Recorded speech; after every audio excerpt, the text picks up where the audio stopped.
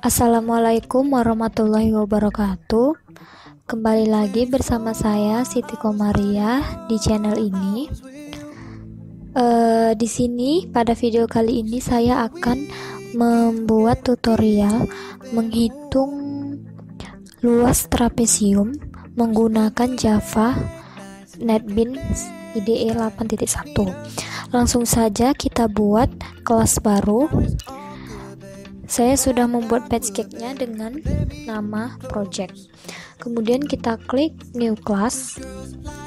Lalu kita buat tulisannya eh nama kelasnya adalah trapesium. Luas trapesium. Kemudian langsung saja kita membuat public static void stringnya agar video dapat berjalan dengan Lalu kita membuat variabel dengan tipe data integer.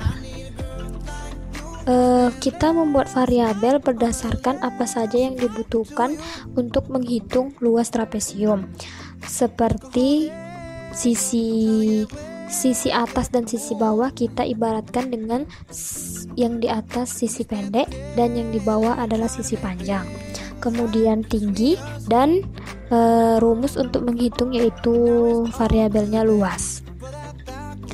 Pertama kita inputkan nilai sisi pendek yaitu 18. Ya, sisi pendeknya 8. Kemudian sisi panjangnya 18. Lalu tinggi kita buat 12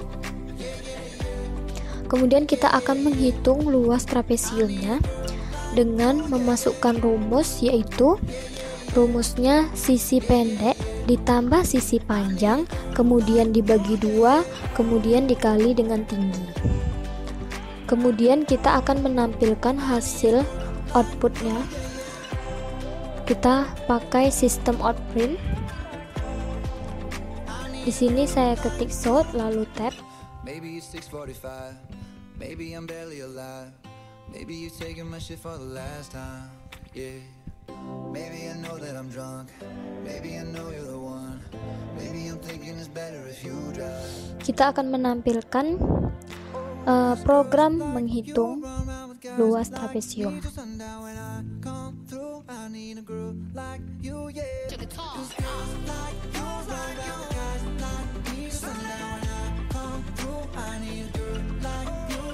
Pertama, kita inputkan sisi atasnya berapa.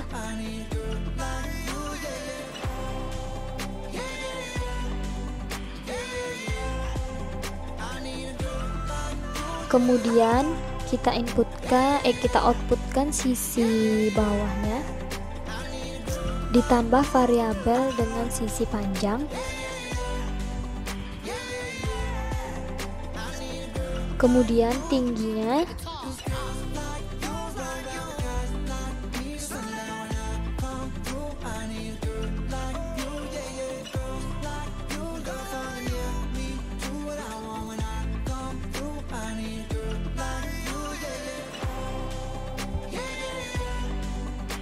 lalu kita akan mengoutputkan luas trapesiumnya ditambah dengan variabel luas